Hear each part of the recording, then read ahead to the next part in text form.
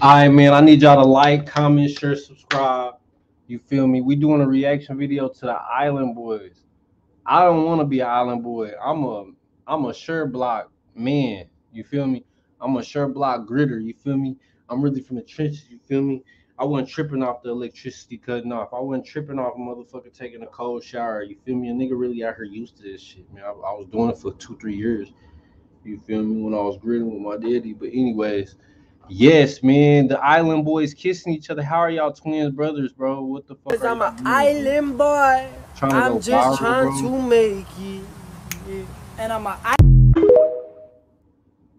That's so fucking sick. Y'all are sick as fuck.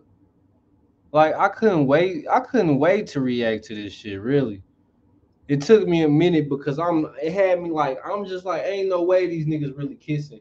And I seen a different video where they was tongue kissing. Like what the fuck? Y'all are twin brothers. Y'all look like the exact same human touching each other's lips. Y'all look like some goofies. Y'all not no motherfucker. Cause I'm an island boy.